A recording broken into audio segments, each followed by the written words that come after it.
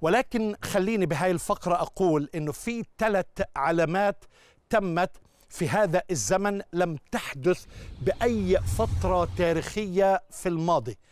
أولا ازدياد المعرفة بحسب نبوة دانيال. عن آخر الأيام تزداد المعرفة.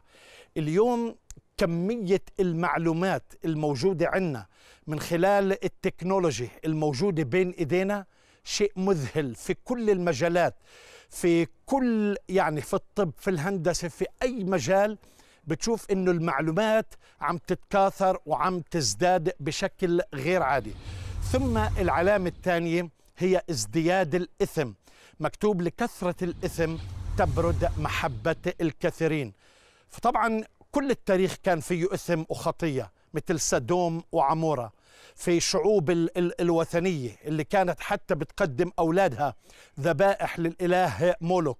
حتى اليونان والرومان عدد أو قسم كبير منهم كانوا عندهم الشذوذ الجنسي اضطجاع رجل مع رجل أو امرأة مع امرأة.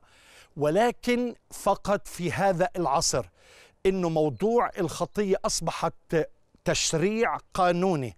كل هذه اللي إحنا كنا نسمعها اللي كانت تحدث في الماضي ولكن اليوم عملوا لها قانون وقانون مش بس صاروا يعتبروها قانون كراهية. أي واحد بيعترض على هذا الأمر.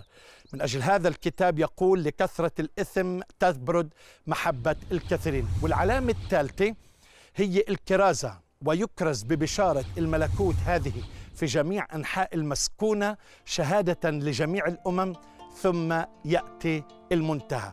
ثلاث علامات تمت في هذا العصر كلهن مع بعض ازدياد المعرفة ازدياد الإثم وازدياد الكرازة